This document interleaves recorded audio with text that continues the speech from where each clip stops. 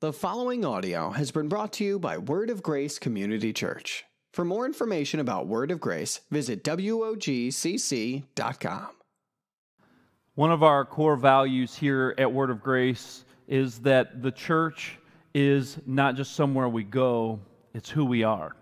We say this often because we need to be reminded as we go through the ebb and flow of life that we're just not here to check off a box, that we're just not here to go through the motions of some sort of religious obligation that we feel, but indeed we are truly understanding every day, whether it's Sunday, whether it's Monday, whether it's Tuesday, regardless of the time of the day, that church is not just somewhere we go, that it's who we are. We are called to be a part of the body of Christ. We are the body of Christ every moment every single day, every role that we have, we are the body of Christ.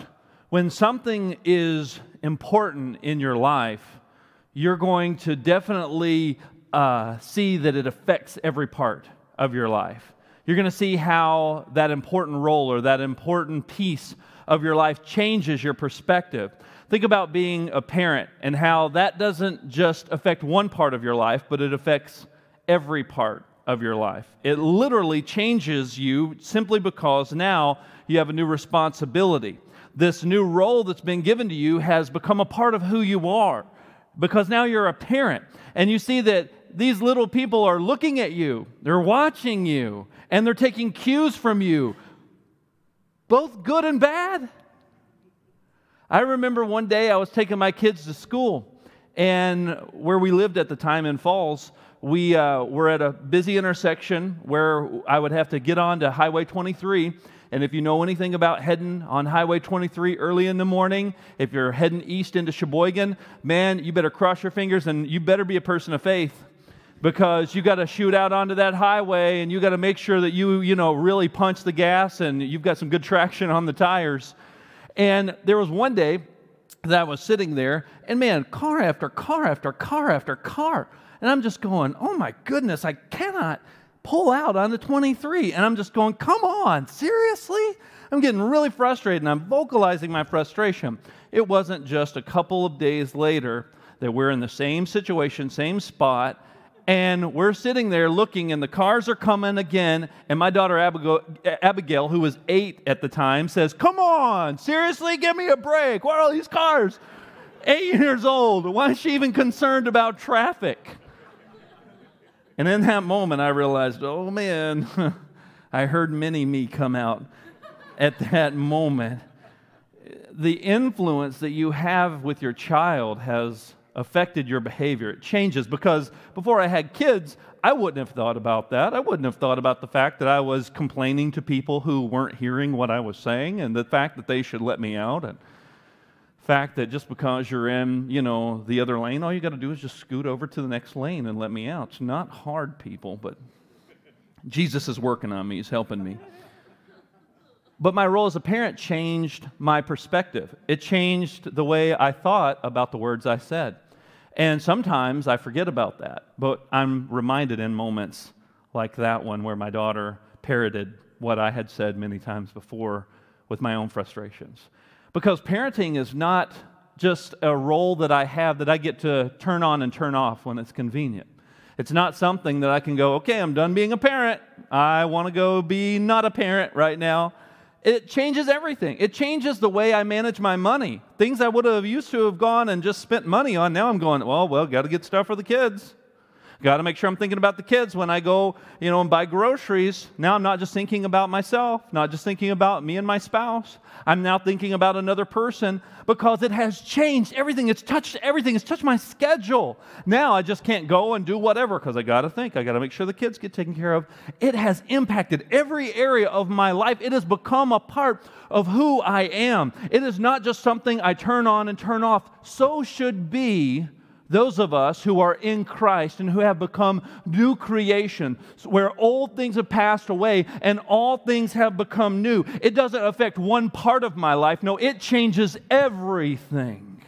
It affects every single part of my life. Christ at the center of my life begins to touch every part of my life. And now I'm thinking differently about the words I say. I'm thinking differently about the way I handle my money. I'm thinking differently about the way I manage my time. I'm thinking differently about the influences I allow in my life. Before, I didn't think as much about the things that were on television. When I have a little person, oh, you better believe I'm thinking a lot more about some of the things that may come across, even on a commercial. Why? Because something has changed. Something has impacted me and affected me so deeply that it has changed what I value, it has changed the way I manage things, it has changed the decisions that I make. So should be Christ to us who say we are followers of Christ. Because we are the body of Christ. Church is not somewhere we go, it is who we are. 1 Corinthians 12 and 27 says, Now you are the body of Christ. And individually, you are members of it. Now you are, underline that, you are. That means you who are reading that, you are now the body of Christ and individually members of it. When something is a part of who we are, it doesn't turn off because there's responsibility attached to it.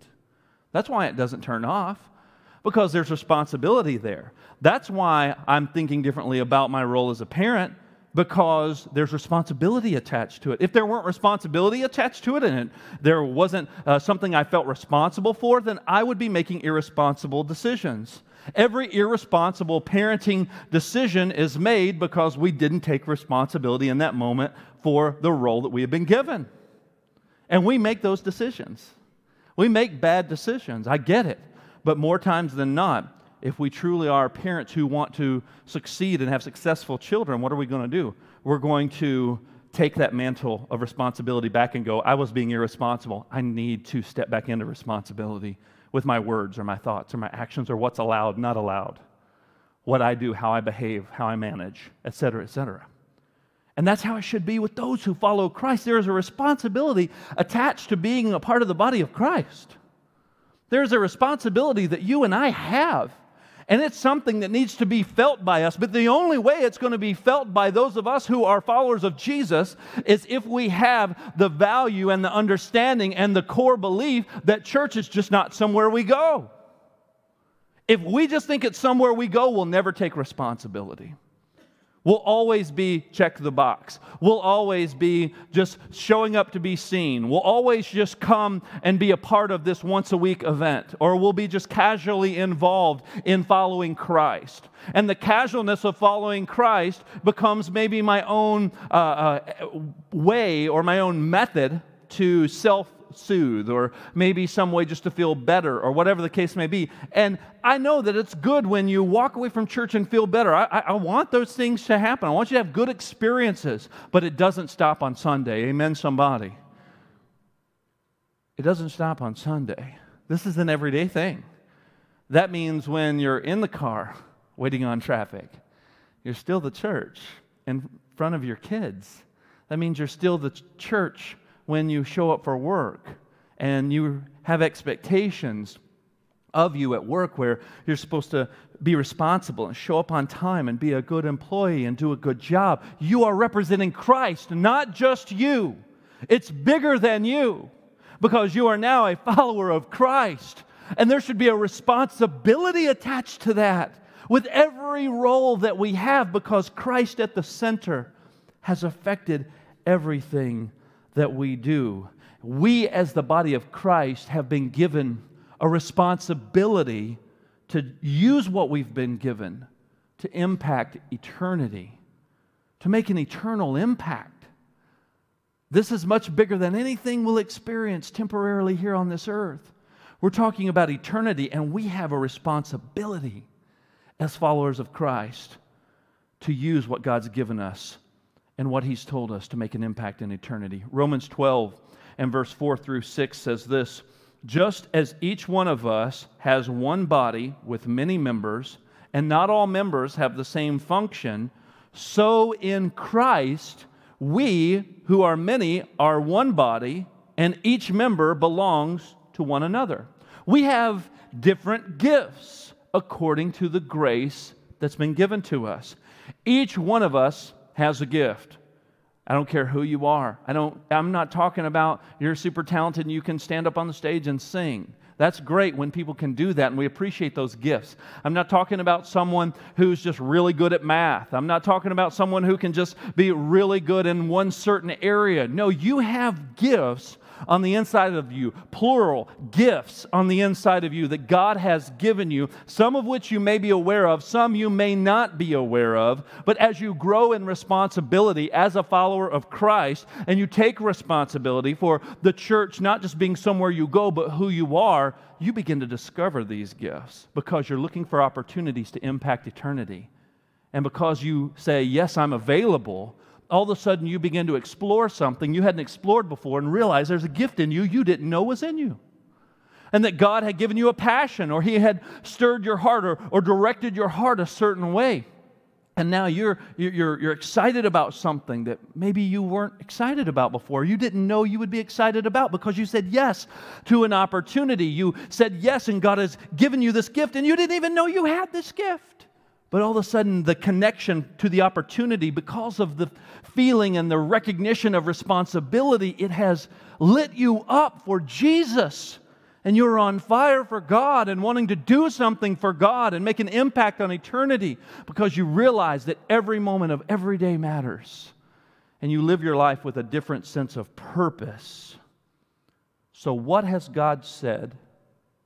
And what has God given you? These are the two questions that I want you to write down. And I want you to ask yourself these things What has God said? And what has God given you? These are the two questions that we need to focus on when excuses want to rise up. Because excuses are going to want to come. It's natural for us to make excuses, to justify why we're not living our lives for a greater purpose on purpose. There's all these justifications, and we all have the same song that we sing. It just may sound a little different, but really the heart is still the same of making all these excuses. I'm too busy. I think the B word is one of the worst words in Christianity because we say this word all the time. I'm just busy. I'm busy. How are you doing? Oh, I'm busy. Or the other one, the T word. You guys know this word? I'm tired. And if you really want to use explicitives, you say both together. Oh, I'm busy, I'm tired. I'm tired and busy. I used to have a friend in Texas. I love this guy. But every time you talk to him, he's always tired. Every time he'd scratch his belly when he'd say it. You go, "Hey Nick, how you doing?" He go, "I'm tired." and every time I hear someone just say they're tired, or I say it, I think about Nick. Oh, I'm tired. Every time you would talk to the guy. And these are things that we just say automatically, oftentimes without even thinking. How are you doing today? I'm busy. I'm tired. Every time. And we go down the list of excuses for why we're not living our lives with a greater purpose. We go down our laundry list of excuses of why we're not doing what God has told us to do. This is nothing new because these are really the two things that God confronted Abraham and Moses with were these two things. What did I say? And what have I given you? We see in Genesis 17 that God visited Abraham when he was 99 years old and said, Hey, you know that promise that I told you before that you're going to be a father of many nations and you're going to have all these kids? I know you're old, I know you're 99, but guess what? You're still going to have a kid. You're still going to be the father of many nations, of a great nation that's going to come out of you. It's going to be amazing. Go look at the sand, go look at the stars, count them if you can. That's the number of your descendants. You're not going to be able to count them. There's going to be so many. Well, I'm old and I'm tired. and my wife, she's old. And God, don't you know that Sarah is past childbearing years? And God's like, you know, I forgot about that. Thanks for reminding me. God said, What, what did I say? Do you trust me? Do you trust me when I told you this is what's going to happen? It's your job to just trust and then use what I've given you. Moses, hey, Moses, you're going to be the guy that's going to lead the children of Israel. out of slavery. They've been slaves for 400 years. The, the generation that's now alive at that time, all they knew was slavery. They didn't even know what freedom meant. They were born into slavery. They were raised in slavery, and so were their parents before them. So this is a generational mentality of slavery. This is all I know is I work, if I don't do what I'm supposed to do, I get beat, so I try to do the, to the best of my ability and not upset the Egyptians. I don't want to be stoned or killed or whipped. And this is the only reality I've ever known if I grew up as a Hebrew. And now all of a sudden, God says, Hey, Moses, you're going to be the guy that's going to go and do this. And he's like, You know, you kind of picked the worst guy. I just want to let you know, in case you don't know who I am, God's like, I know who you are. I made you. I know your limitations. I know your struggles. I know your limitations. And that's kind of why I chose you. Not because you're so strong, not because you're so great, not because you can just rely on yourself and how great you are. No, all of these weaknesses are going to make you rely on me all the more. So when people look at you as the leader, they're going to go, Really? That guy? That's kind of what happened when I became your pastor six years ago. It's not because I'm so great. Uh, so when God uses people, it's not because they're so amazing or so impressive, it's so God can show off. Not so God can draw attention to the person, but so God can draw attention to himself. And so God can say, Look at how good and powerful and almighty and, and that I am, that I'm able to use someone like Moses, the guy that shouldn't have been picked, the guy that, you know, he, he, he got picked last. Look at how amazing I am and look at how faithful and good that I am, that I'm still going to fulfill my promise, even when it looks impossible. And there's two people that are way too old to be having a kid. And I'm not just going to give them one kid, but I'm going to allow that kid to be the start of something that's going to change the world. What? Could you picked someone a little bit younger, a little bit more spry? Moses said, I can't speak well. I have a speech impediment. Don't you know I kind of struggle with talking?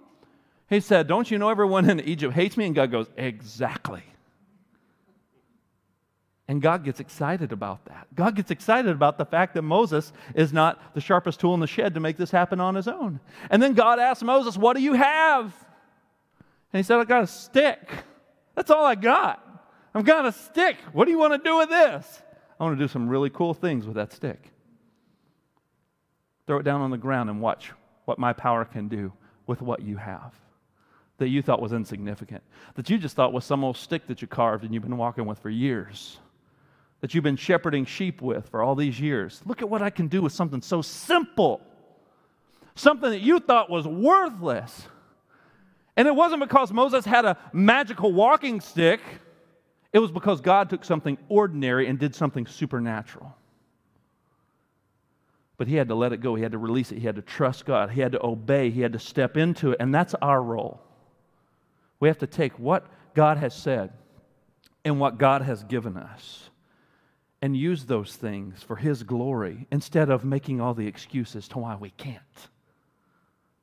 That's what we want to do. I'm busy. I'm tired. I'm not good enough. Don't you know my past? Don't you know that everyone knows all the bad things I've done? If you looked at my rap sheet, you, God couldn't use me. Guess what? God used all kinds of people that probably had a rap sheet as worse than you did. He used a guy who killed Christians for a living and had them persecuted to write two thirds of the New Testament. Go figure that one out. God used a guy who everyone thought was this awful, terrible person that they feared as Christians, named Saul, who God radically changed his life. And he didn't all of a sudden become this amazing powerhouse of a person. No, he was the worst person to choose. If you and I were picking teams, who's going to be like on our evangelism team? We wouldn't pick the guy that's hunting us down. But God picked the guy who was hunting us down. How crazy is that? So don't tell me that God can't use you. Don't tell me your past is too dark. Don't tell me you've made too many mistakes. Don't tell me that you're not good enough. Because listen, all have sinned and fallen short of the glory of God. That means you. That means me. That means without Christ, we're all in the same boat and it's not headed to a good place. But because of Christ, we all get to be in the family of God, headed to a wonderful place. But that's not the end of the story, is just for us to have our security and our salvation in Christ, and then we just go about our day to day lives and not think about anything with any amount or measure of purpose. No, it should be the exact opposite. Because of Christ and because of what He's done for us, it should stir us and motivate us to action, to recognize the responsibility that we have because God has said some things to us and He's given us things and He wants us to use those different gifts that He's given us by His grace.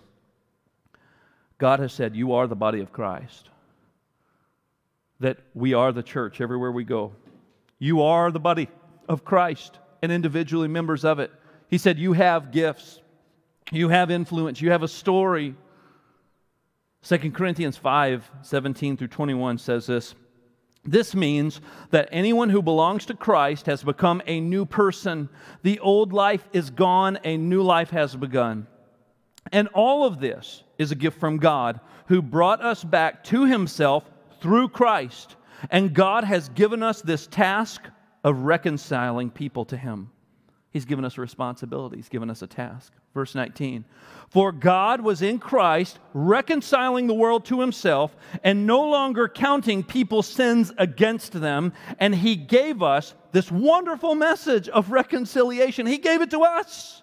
He's saying, Here, take this message, do something with it. Verse 20. So we are Christ's ambassadors. God is making his appeal through us. We speak for Christ when we plead, Come back to God. For God made Christ, who had never sinned, to be the offering for our sin, so that we could be made right with God through Christ. Wow. Don't shout me down when I'm preaching good. This is the responsibility that we've been given. This is the role we've been called to. This is Christ affecting everything we do, not just one segment of one day once a week. This is us understanding we are the body of Christ, that God is interested in the small things, that God is in the everyday. He's in the everyday. He's in every day in the and, and the simple things that we may blow off or pass off as just a regular routine. If we live our lives with the value that Jesus is the center, then everything in our lives the way we parent, the way we manage our time, the way we engage our spouse, our work ethic, our morality all of those things should stem from the center. And the center is Christ. And He is in the everyday. You have everyday routines, you have everyday influence, you have everyday opportunities that God has given you to leverage for His kingdom. And as the church, as representatives of Christ. Every single day is a divine opportunity from God. I remember when I was younger, I used to pray and ask God for divine opportunities. And what I meant by that is I would say in the morning when I would pray, I would say, God, give me a divine opportunity just to minister to someone, to see you move in someone's life, or give me an opportunity, help me to see those things, to be aware of those things. And there's some validity to that prayer. But what I didn't realize was that every day was the divine opportunity. It wasn't that I'm going to go about my life hoping that a divine opportunity would show up, but the day itself was the divine opportunity. It's His breath in our lungs, right? It's His schedule that we're on. We even get this at work. We know, hey, don't stand around, you're on the clock. Hey, don't stand around. You're on the clock.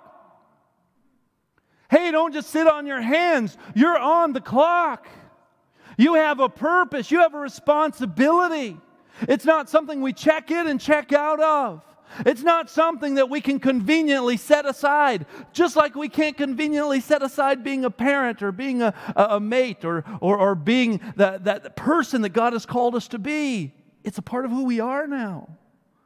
It's changed everything.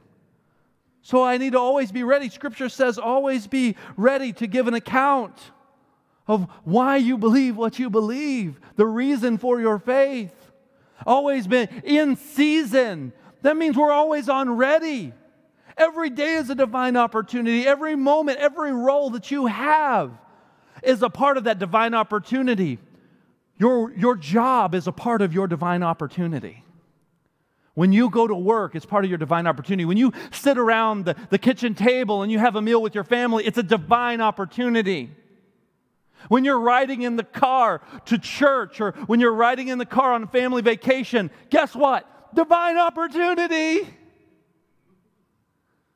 When you go to the store, when you go to the restaurant, divine opportunity. When you're hanging out with your friends, divine opportunity. Are, are, are you getting this? Every day, every moment, is a divine opportunity because God's in the everyday. He doesn't go, oh, that's little stuff. I don't care about that. I don't care about that stuff. That's insignificant. No, it's not insignificant because it's His breath in your lungs. We're on the clock. He's calling us to take responsibility for this thing. He's calling us to take responsibility for this, this job that He has given us of being the mouthpiece of God to reconcile people back to Christ, to, to show them the goodness of God, to show them the message that's being lived out through us by using the opportunities and the influence that we've been given in the everyday. In the everyday. Living life with a different purpose on purpose. So, what if we viewed the connections that God has already given us as an opportunity to impact eternity? Everyone is asking God for something more.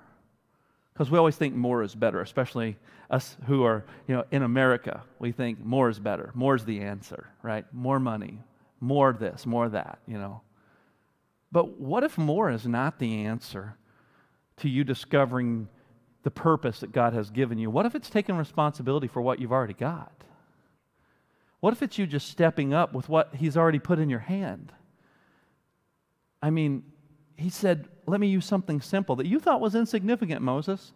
Something you thought was just a part of the everyday, mundane routine of you walking with this staff. I'm going to take that simple thing and I'm going to do something amazing with it that's going to be all about me that you could have never done with it. But because I'm awesome and I, and I want to use you, I want to take something ordinary. God was trying to show Moses, you're the stick. That's what he was trying to show him. That's what he was trying to get him to understand. Moses, you're the stick. You're that thing that you thought was nothing, that was insignificant, that had no special ability. And God says, I want to use it if you will allow me to do something through you that you could have never done on your own but you've got to trust me. You're the plain, ordinary, nothing special about me. I don't even have a good testimony story. I've heard people say that all the time. Stop saying that. Please, please stop saying that. People think that if they don't have this story with this dark, jaded past and then this aha moment where the skies parted and Jesus himself descended and said, I choose you, come and follow me. And if you don't have this story that makes everybody in the room cry, you think that your story is insignificant. That is a lie from the pit. We all have a story that's, that's significant. We were all lost and now we are found. We all were blind and now we see. We all were without hope, and now we have hope. We all have the same story, different circumstances, yes, but the same story if we know Christ.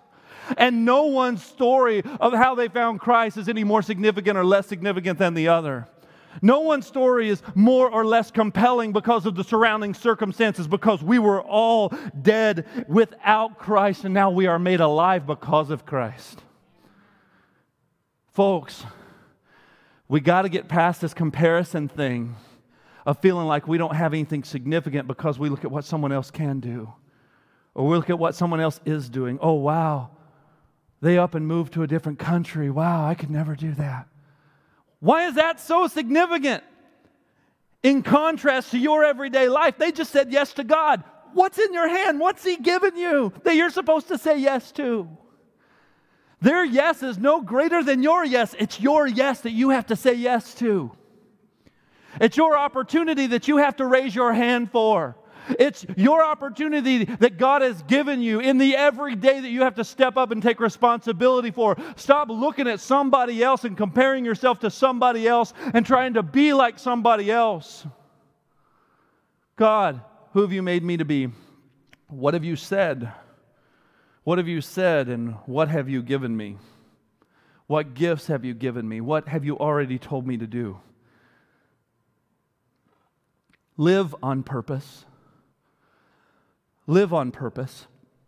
Because when we live with a greater intentionality in our lives, we are going to have a greater impact. We're called to make an eternal impact. And God has given you connections. Influence increases as responsibility is taken for what God has already said. Stop asking God for more and start taking responsibility for what you've already got. God said, You've been faithful over a few things, now I'll make you ruler over many things. Stop asking God for more opportunities and start looking at the opportunities already in front of you. And I promise you, God will open the door as you take responsibility and that you'll begin to see, wow, God is the one running this show. It's not me sitting back going, well, I'll do something for God when I think it's significant.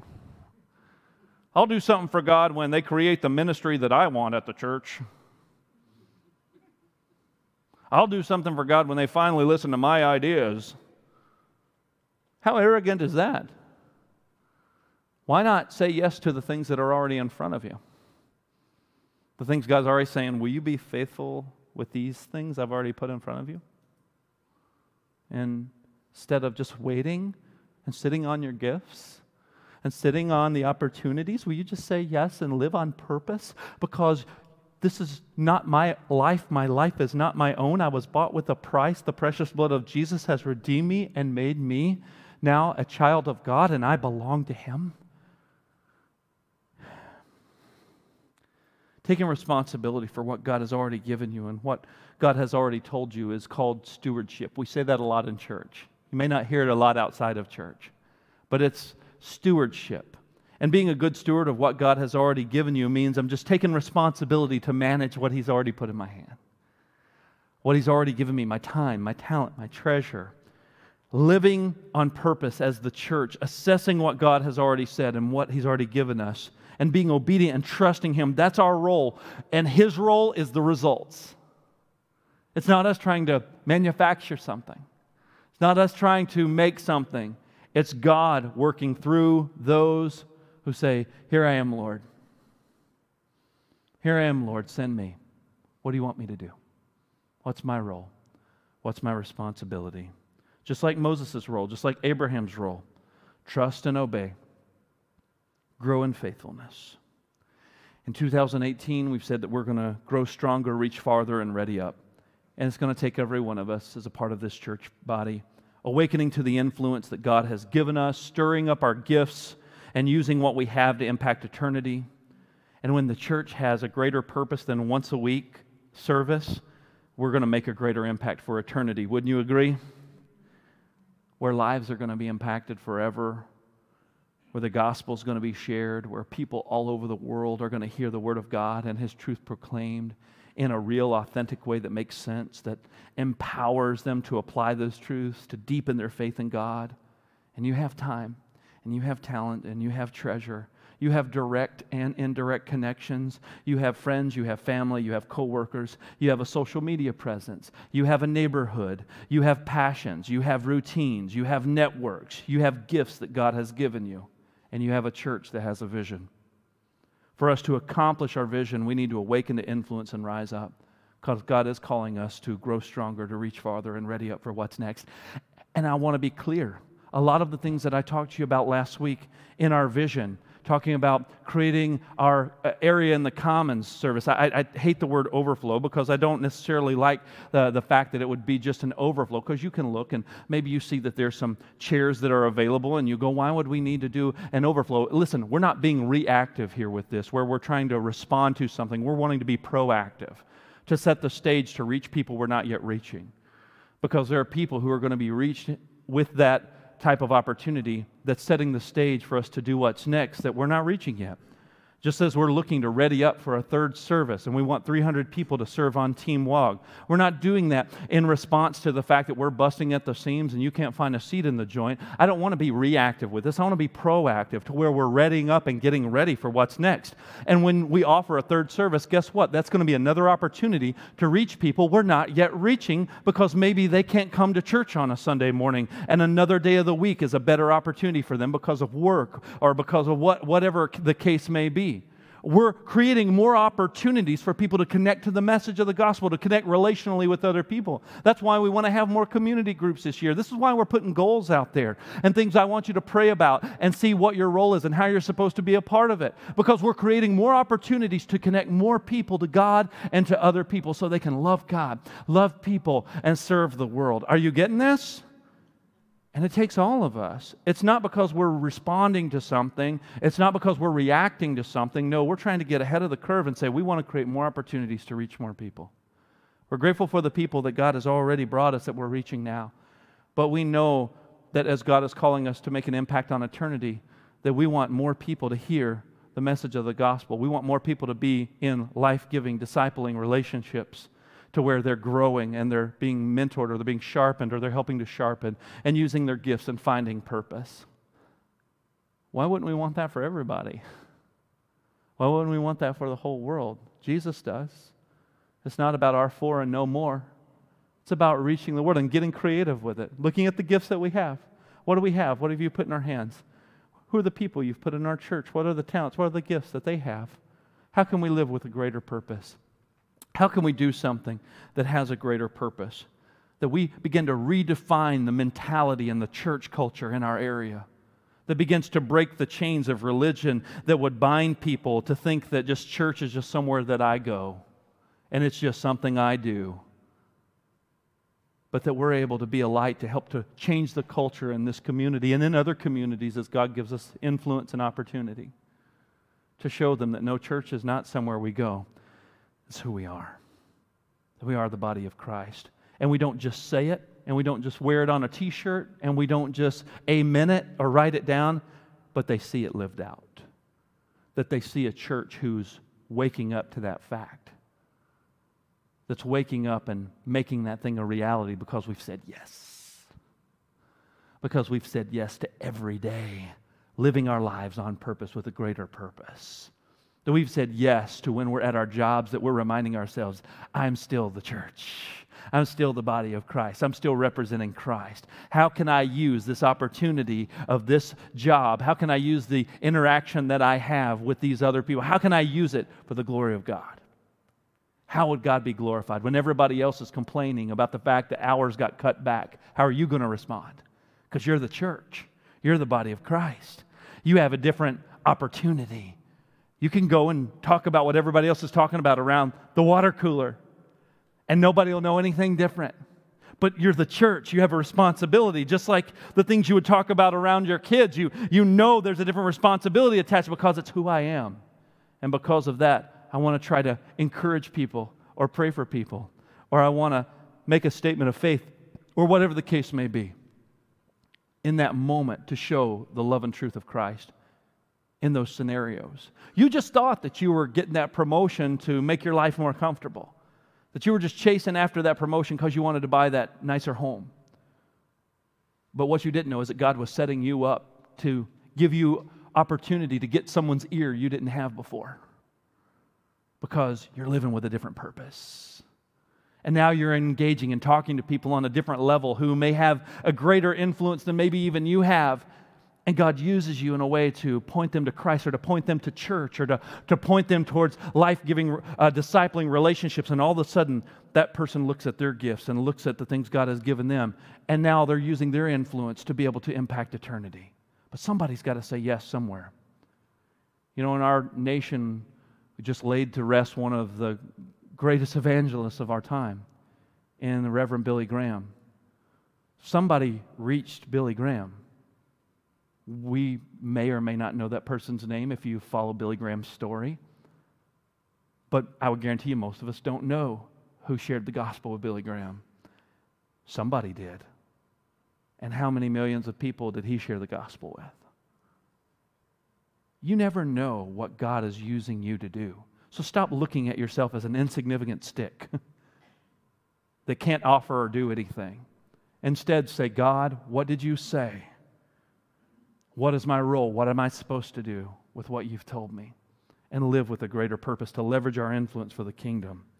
God is calling us to share the gospel, to make disciples, fully devoted followers of Jesus that are growing in loving God, loving people, serving the world. So, what has God said? And what has God given you?